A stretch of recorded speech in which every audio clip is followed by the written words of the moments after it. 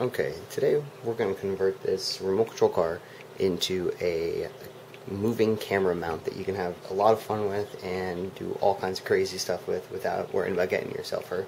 So you're going to need yourself a good remote control car, um, a camera, you're going to need your flashlight for night shots. Uh, this is actually going to be used to uh, mount your flashlight later. Uh, I've already taken the liberty to tear apart a, um, a tripod, uh, get you the mounting piece. Um, you're going to need some screws and washers, um, a piece of metal to mount everything to, and a couple of screwdriver bits. Um, now I've already removed the screws from uh, the remote control car.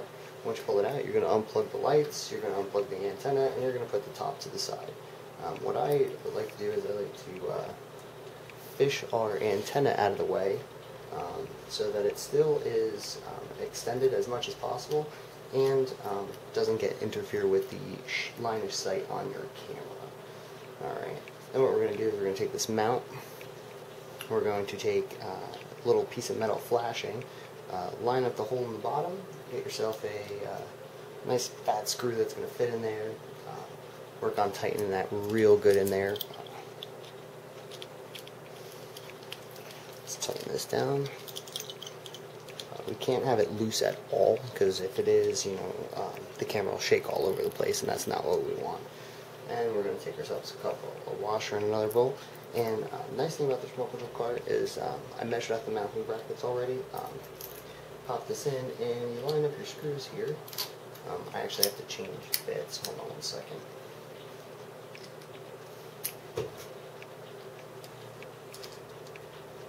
Take this puppy down here.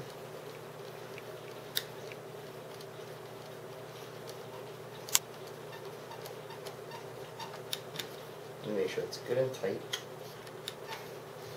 And putting your other side of this.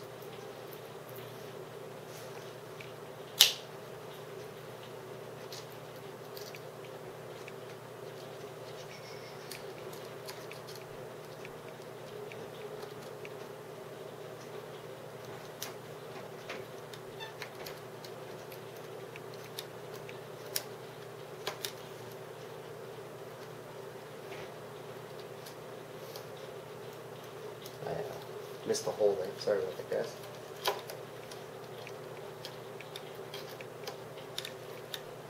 And we're going to tighten it down real good. Alright, then what we're going to do is uh, simply take our, our sticky mount and pull this off. Pop it right here on in the front. Um, that's going to be for the flashlight. Um, if you want to do some night shots, you just pop it in there. And flashlight's ready to go just for those night shots pop the camera on top, and then strap down everything else, and you're good to go. Okay, so we got the camera set up and the car ready to go. What I'm going to do now is, because we're it's nighttime, I'm going to turn on the light right here. I'm going to flip my camera out of the way, and I'm going to show you a little bit of driving.